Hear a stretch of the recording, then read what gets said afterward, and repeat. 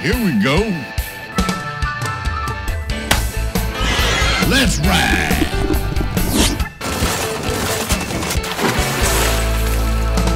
Oh, yeah, boy. Hey, boys. Hey, girls. Welcome to Louisiana Cajun Recipes. Today I'm going to do something I ain't never done did before. I'm going to make some real hog cracklings uh, or what we call gratons down here in South Louisiana from pork belly. And I got a really sexy looking pork belly right here. And it got the skin still on it on the bottom. They was on sale for $1.99 a pound. And I couldn't pass that up. What I gotta do, I ain't gonna use the whole thing. Probably use about two thirds, something like that. Uh, but I gotta cut it up into little cubes, like little one inch cubes. And this process takes about, oh actually in the pot, maybe about three hours, two, three hours. And but there's a pause where you gotta let it cool down and you can speed that up by sticking it in the fridge for about 30 minutes an hour. After it's made after you fried it down first I'm gonna show y'all. So let's get started here. First thing I gotta do is uh, cube him up. Then we're gonna fry it. In, fat and lard yum. I didn't say anything in this little segment here because I was planning what I was going to say next. So there I'm here with the pig skin on that side and the bacon on this side. This is what bacon's made from. That's right. so let me get this thing cubed up into little cubes. I have to have a really sharp knife for this. And this one is. That skin is the, the toughest part to cut through. So we're gonna go ahead, see there's your big hunk of bacon if it was smoked and cured.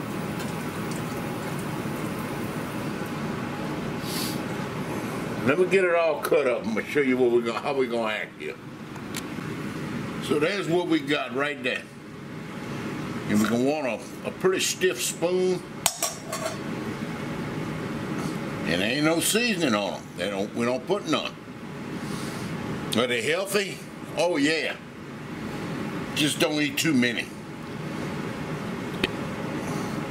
They're better than croutons on a salad. You can make a whole salad with that.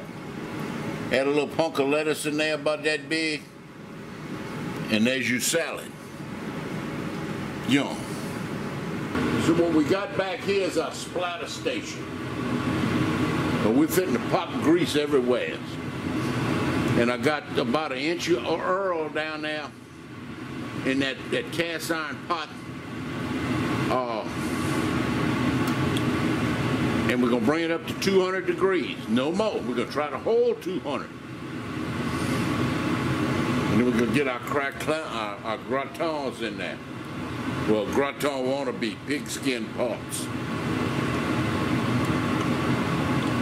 Don't clean your stove right before you make these. You can make them outside too in a big pot.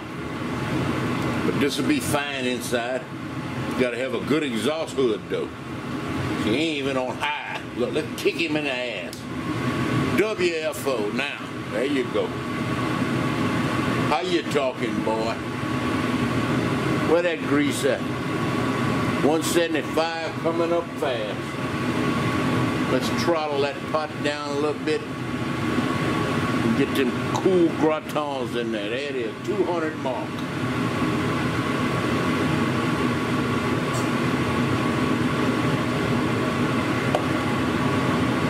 X marks the spot.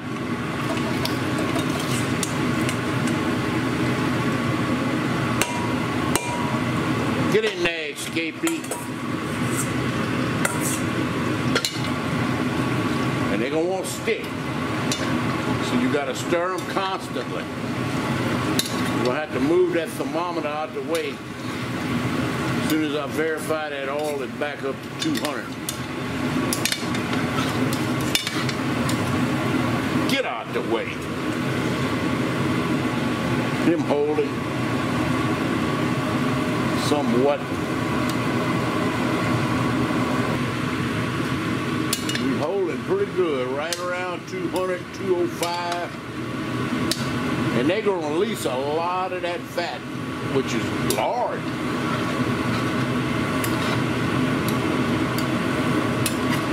You just keep stirring them every now and then so they don't stick. Stay up there, boy. They're coming along beautifully. Double check that thermometer and it's off. About 15 degrees. A lot of folks have told me that I sound a lot like foghorn leghorn. I say, I say, look at me when I'm talking to you, boy. Well, they got a site I'm gonna put in the description box of this video of this guy that has collected all of Foghorn's quotes about a shop is a bowling ball. That kind of thing. All of them. And I didn't notice, but the, the, the Foghorn Leghorn series was only produced uh, they only produced one a year from 40, 1946 through 1963 was the last one. And it talks about on all that on the site, and they got a, some history, and they got a link to a, a Vimeo site where he's uploaded all the cartoons, which is pretty slick, and you can go and watch them. And I don't sound like Mel Blanc. Mel Blanc is, was the voice behind Foghorn and many other cartoon characters like Bugs Bunny, Tweety Bird, uh, Wile E. Coyote, I believe, uh, Yosemite Sam. When I say whoa, I mean whoa. I can do some of his lines a little bit. But uh, Mel Blanc had an eight octave range in his voice, which is incredible. That, that allowed him to do the Tweety Bird. And I wanted, he did Porky Pig too, if I didn't already say that. Uh, and, and what's up, Doc? You know, I, I can't get up that high. Uh, let me stir my gratons. Link in the description box to that. And see, they're starting to stick a little bit. Pay attention, boy, when I'm talking to you. Boy, this smells some fine. And, and after you eat it, eat some of these, don't go get your triglycerides checked for a couple of weeks, yeah? Yeah, that boy's about as timid as a canary at a cat show. Nice boy, but he got more nerve than a bum tooth. Tooth, that is. See how they reduce him down? Yum. Is it all good for anything else? Yeah. You better believe it. Make some fine french fries in there. Fried chicken, fried pork chops, fried uh, chicken fried steak, fried any damn thing. And all temperatures that come up to about 300 about an hour and a half later. And see, them, them skins are starting to blister. The actual skin right there. And that's good. We're going to pull them out and put them in a cardboard box to soak up some of that grease. And I got a couple extra layers of cardboard in there.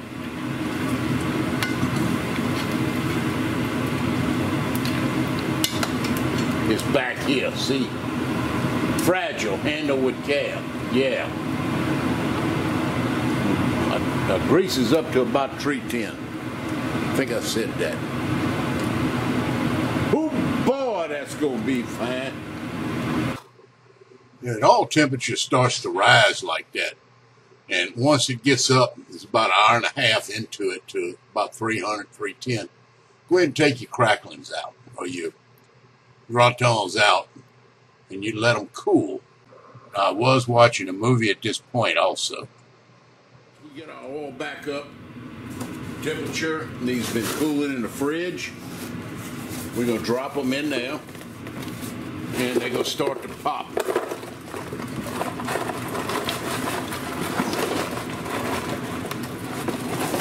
Don't put the cardboard in. Get the crack and the gratons in there.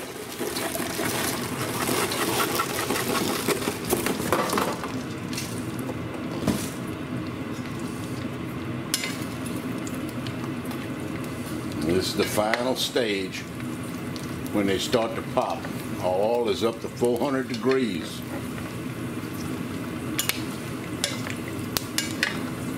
Hear them popping. You only need a few minutes of this. We can pull them out and season them if we like with some Cajun seasoning and eat them. Yum. And I strained out some of these little Utzens. These are like mini bacon bites. Oh yeah, baby. Yum. These are best stored in a paper bag or in cardboard. You got to watch your oil at this last stage. They only need to be in there for a few minutes. I may have left them a tad long, but uh, don't let the oil start smoking. And I didn't. And these were real fine. By cooking them a little longer, you're going to cook out a little bit more of the fat. And it won't be as greasy. Yum. And this is Raging Cajun brand. It's got less salt and it says no MSG on it. and it's good. Got more flavor. The garlics and all the other seasonings that's in there.